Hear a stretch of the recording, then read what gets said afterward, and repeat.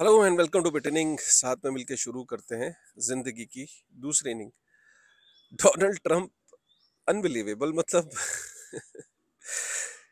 यार मतलब ना अ, मैं मैं क्यों हंस रहा हूँ? मैं, मैं मुझे एक्चुअली समझ नहीं आ रहा है मैं वीडियो की शुरुआत कैसे करूँ अब आप बोलोगे अरे क्या बात है आज तो आपका दिन है आज आपको खुश होना चाहिए. लेकिन मैं इस इस वजह से खुश नहीं हो रहा हूँ। आप समझिए कि यही वो डोनाल्ड ट्रंप था जो कहता था कि अ, जो यूएस डॉलर है उसको सबसे बड़ा थ्रेट जो है वो बिटकॉइन से और उसने यू नो बिटकॉइन को पॉन्जी स्कीम से लेके क्या क्या नहीं कहा था जब वो लास्ट टाइम प्रेसिडेंट बना था। इनफैक्ट माना ही जाता था कि डोनाल्ड ट्रंप जो है अ, वो सबसे एग्रेसिव था बिटकॉइन के अगेंस्ट था वो जब उसका लास्ट टाइम जब वो प्रेसिडेंट बना था। और अ, कुछ ही साल बीते और आज बिटकॉइन की वजह से वो प्रेसिडेंट बना है। देखो मेन स्ट्रीम मीडिया इस बात को कभी एक्नॉलेज नहीं करेगा। और मेन स्ट्रीम मीडिया ने तो कमला हारिस को जिता भी दिया था, जितने भी न्यूज़ चैनल्स हैं और वहाँ पे। लेकिन वो कभी इस बात को एक्नॉलेज नहीं करेंगे कि डोनाल्ड ट्रंप जो है, वो सिर्फ़ और सिर्फ़ बिटकॉइन की वजह से जीता है।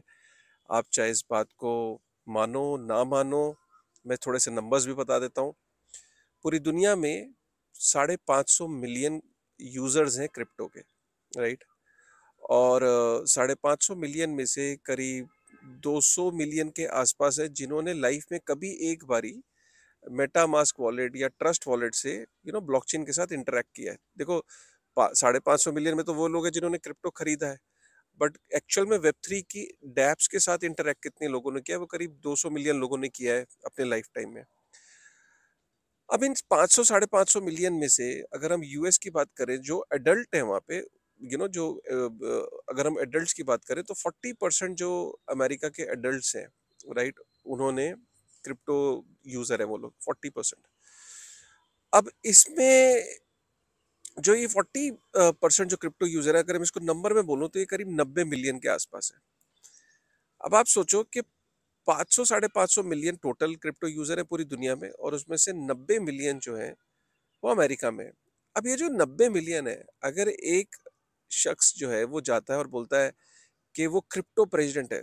मैं आज ये भी बताऊँगा कि डोनाल्ड ट्रंप याद दिलाऊँगा कि डोनाल्ड ट्रंप ने अपने भाषणों में या पब्लिक अपीयरेंस में उसने बिटकॉइन और क्रिप्टो के लिए क्या क्या बोला उनमें से एक चीज़ उसने बोली थी, सबसे पहली जो चीज़ बोली थी, वो बोली थी कि वो एक क्रिप्टो प्रेसिडेंट है। कैन यू इमेजिन तो क्रिप्टो प्रेसिडेंट बोल के उसने सबसे पहले जो 90 मिलियन लोग हैं, इनको तो अपने फेवर में कर ही लिया ना।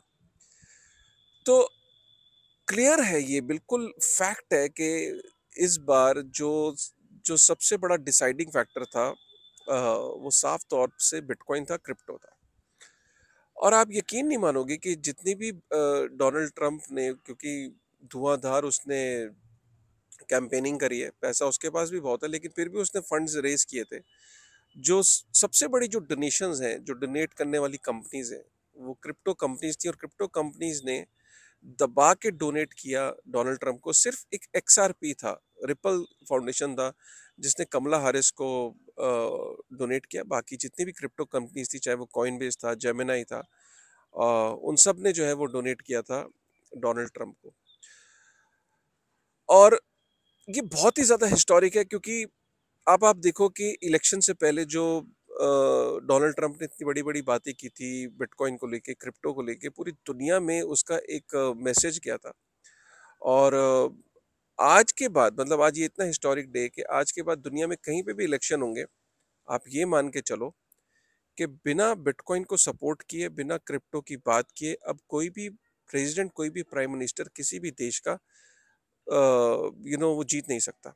ये क्लियर हो गया है। अभी अब आपको दिखेगा कि अमेरिका में जो डोनाल्ड ट्रंप ने करा, उसकी जो जीत की, जो सक्सेस देख के, अब कहीं पे भी चाहे वो यूरोप के अंदर कोई इलेक्शन हो रहा हो, चाहे वो एशिया के अंदर कहीं इलेक्शन हो रहा हो, जहाँ पे भी डेमोक्रेटिक तरीके से इलेक्शंस होते हैं, वहाँ पे आप देखोगे कि क्रिप्टो की बात किए बगैर अब कोई भी प्रेसिडेंट या प्राइम मिनिस्टर जीत नहीं सकता, ये गारंटी हो गई है। अब डोनाल्ड ट्रंप ने बहुत सारे वादे किए, और डोनाल्ड ट्रंप ने कि मैं कुछ चीज़ों को याद दिला देता हूँ। डोनाल्ड ट्रंप ने सबसे पहले बोला था कि वो क्रिप्टो प्रेसिडेंट है। डोनाल्ड ट्रंप ने ये बोला था कि एक फोरम के अंदर के जो यूएस का पैंतीस ट्रिलियन जो डेट है, उसको भी वो पे ऑफ़ कर सकता है बिटकॉइन से।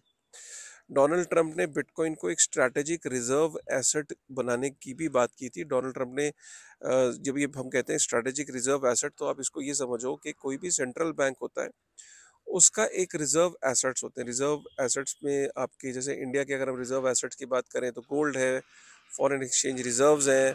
ये कहीं ना कहीं ये स्ट्रेंथ देते हैं इकोनॉमी को, in case of catastrophe, in case of some emergency, in case of war like situation.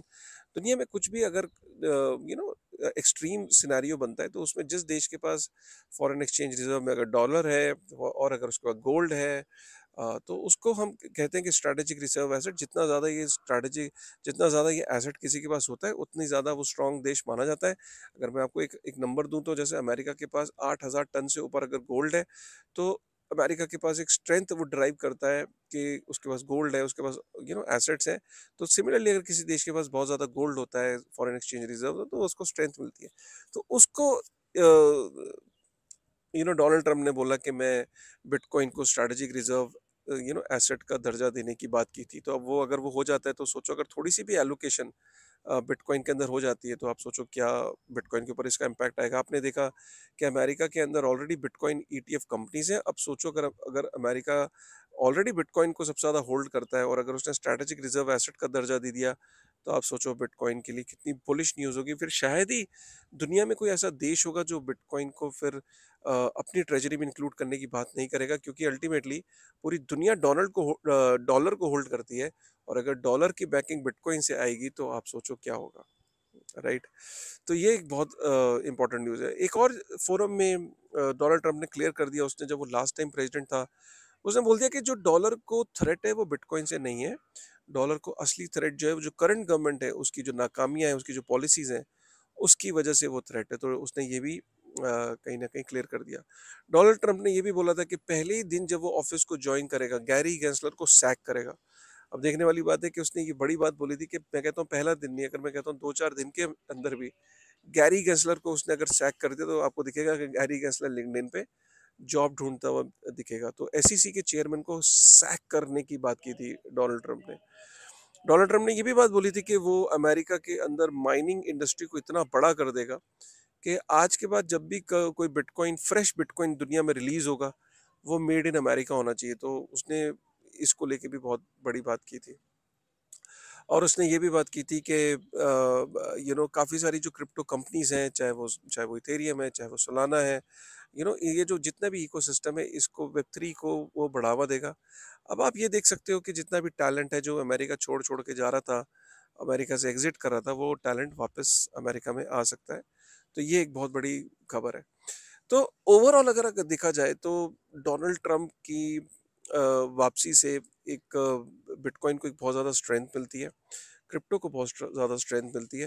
मैं बार बार बिटकॉइन और क्रिप्टो को अलग अलग इसलिए बोल रहा हूँ क्योंकि देखिए, वो कहीं ना कहीं बिटकॉइन को लेके उसने चीज़ें बिल्कुल क्लियरली बोली और बाकी जो इकोसिस्टम है उसके लिए लोग बुलिश हैं। लेकिन एक पर्टिकुलर इकोसिस्टम की बात नहीं करी है।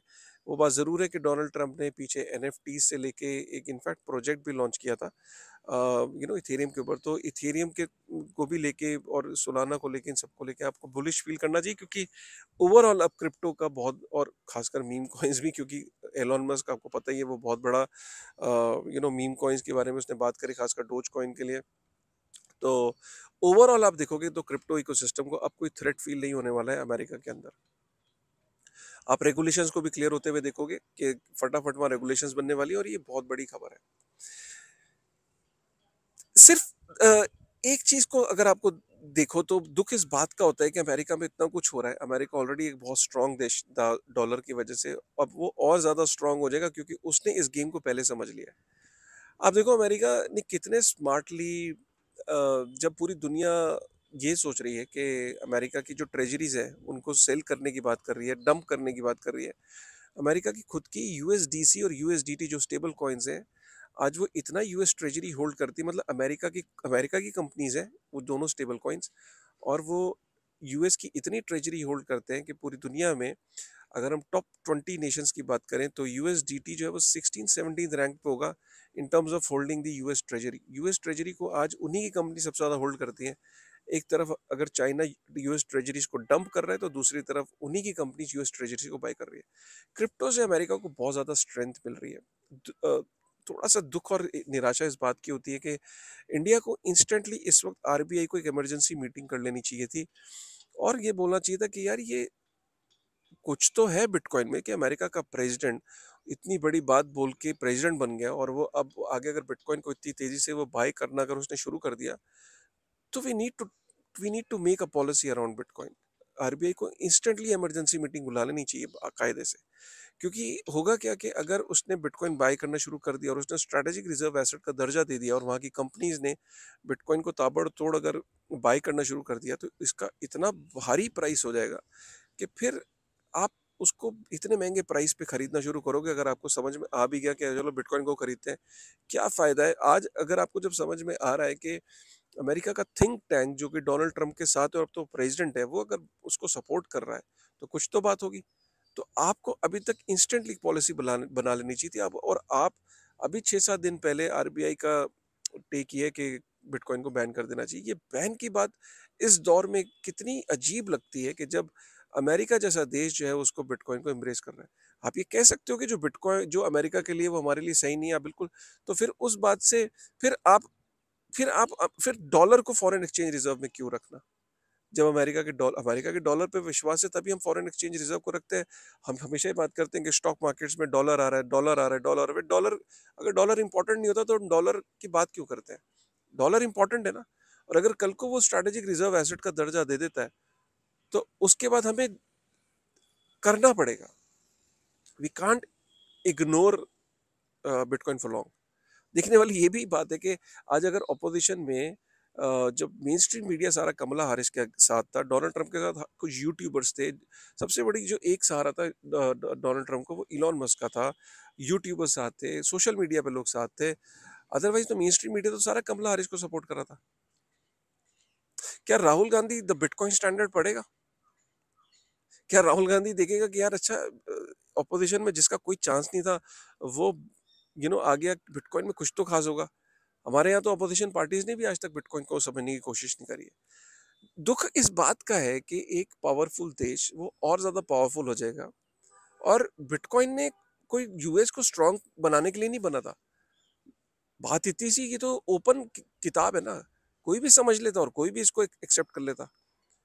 इंडिया के पास एक अपॉर्चुनिटी थी अभी भी है और आगे भी रहेगी। लेकिन आगे इस अपॉर्चुनिटी को, को ग्रैप करने के लिए बहुत खर्चा करना पड़ेगा।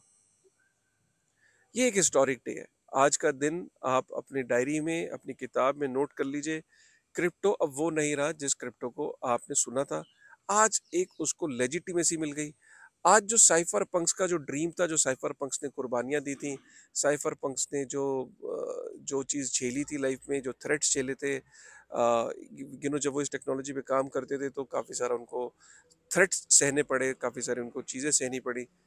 आज सतोशी नाकामोतो कभी कहीं अगर ज़िंदा है किसी कोने में तो वो मुस्कुरा रहा होगा और देख रहा होगा कि यार जिस चीज़ की वजह से आ, कितना थ्रेट सहना पड़ा साइफर पंक्स को आज उसी इनोवेशन ने अमेरिका का प्रेसिडेंट चूज़ किया उसी की वजह से अमेरिका का प्रेसिडेंट बना है। ये बहुत बड़ी खबर है। शेयर करिएगा अपने लोगों के साथ ये वीडियो और हमेशा से मैंने बात करी कि बिटकॉइन में लॉन्ग टर्म के लिए बने रहें।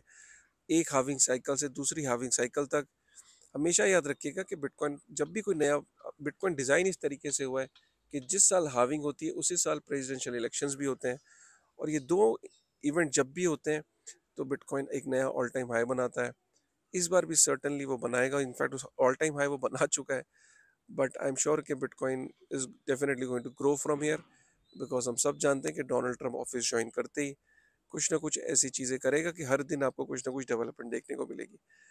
तो या what is your take I am happy I am sure you must be happy as well अगर आपको लगता है कि नहीं, वाकई sir this made lot of sense और हम तो आपकी वीडियोस को सुनते हैं सर हमें तो ये पहले से ही पता था।